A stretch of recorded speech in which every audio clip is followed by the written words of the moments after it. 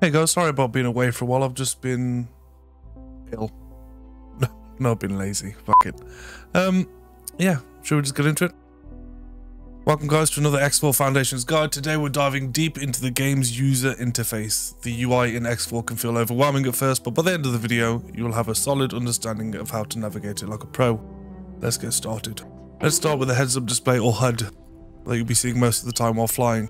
At the bottom middle of the screen, you'll see the status bar, which shows your ship shields and hull integrity. These are crucial for survival, especially in combat situations. Directly above the status bar is your throttle indicator, displaying your ship's current speed. Adjusting your throttle will help you control your flight, whether you're maneuvering in combat or docking at stations. To the right of the HUD, you'll see your weapon status. This shows your current equipped weapons, their ammo count and readiness if applicable. Keep an eye on this during combat to ensure you're using the right weapons. Just below the HUD and right above the radar, you'll find icons for auto roll, collision avoidance, flight assistance, aim assist, autopilot, and mouse steering. These toggles gives you control over your ship's flight assistance systems. Above these icons, you'll see indicators for auto missile, ammo, and forward speed. These will help you manage your ship's combat cap. Oh fuck me, Jesus Christ! Am I? These will help you manage your ship's combat capabilities at a glance. Fuck. Finally, at the bottom middle is the radar. The radar gives you 3D view of your immediate surroundings, showing ships, stations, and other objects. It's a vital tool for situational awareness in busy areas or during combat. Next, let's talk about the sector map. Press M to bring up the map. This is your primary tool for navigating and managing your assets in this sector. The map shows all the stations, ships, and points of interest nearby. However, you can zoom in and out using the mouse wheel and click on objects for more information.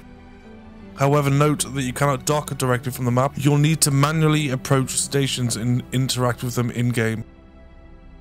Along the top of the map, you'll see options such as player information, ship interactions, encyclopedia, and tutorial and help.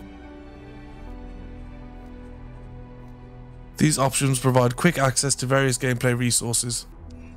On the left hand side, you'll find object list, property owned, mission offers, mission manager, information, and manage plots. The object list shows all the ships and stations in the current sector, while property owned is where you manage your personal assets. If you're looking for missions or tasks, the mission offers and mission manager tabs are key. And for players looking to build stations, the manage plots tab is where you start planning your construction projects. Projects? Projects. Managing your ships and fleets is essential to your success in X4. To manage your ships, open the sector map by pressing M and navigate to the Property Owned tab on the left hand side. From here you'll see a list of all your owned ships and stations to issue orders or check information on a specific ship. Right click on the ship from the list and select information. This will bring up the ship's details, including its cargo and current tasks. To view or assign crew, click on the crew button in this menu.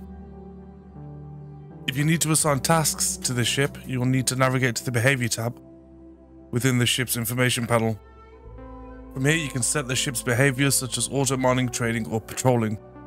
For managing fleets, you can assign individual ships to squads. To do this, right click a ship from the Property Owned tab and assign it to a squad, making it a subordinate to another ship. This helps organize ships into a functional group, making it easier to manage them during large scale operations or combat scenarios.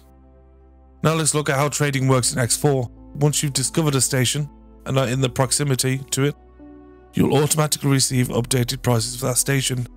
If you place a satellite if you place a satellite near a station, those prices will remain updated as long as the satellite is active. To view and toggle trade data on the map, look at the top right corner of the map screen. Here you'll see three buttons, trade, mining and other. Clicking the trade button will show the latest prices for goods at nearby stations, if you have a satellite near them. You can use this to find trade opportunities for your ships. Once trade prices are displayed, select one of your trade ships from the Property Owned tab and manually assign them trade tasks based on the prices you see on the map. Keep an eye on the best deals to optimize your trading routes. Managing your personnel is vital to running your ships and stations smoothly. To access the player information menu, go to the top of the map screen and click on the player information button. On the player information screen, you'll find various tabs on the left hand side. These include Empire, this tab provides an overview of your empire status, factions and relations, track your standings with different factions, statistics, review your in-game achievements and performance, inventory, check your personal items and resources. Modifications, manage ship upgrades and modifications. Spacesuit upgrades, review and install upgrades to your spacesuit. Global orders, set universe behaviors for your assets. Account management, track your account balances. Personal management, assign crew members to your ships and stations. Messages, review in-game communications. Transaction log, view financial transactions. Logbook, keep track of important events and missions. Use the personal management tab to assign roles to your crew, such as pilots, engineers, or marines. Managing personnel effectively is key to boosting your fleet's efficiency. And that wraps up our overview of the UI in X4 Foundations. With these tools at your disposal, you'll be navigating the game like a veteran pilot in no time.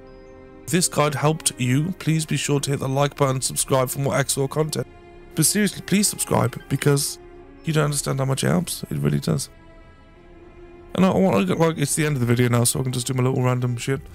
But dude, I looked at my analytics on my channel and I see like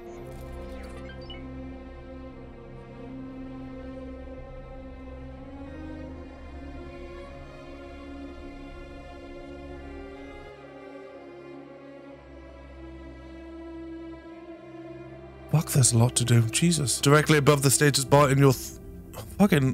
Why do I just lose the ability to talk? Review your in-game. If this card helped you, please. Mm, fucking. If, and that wraps up the the fucking.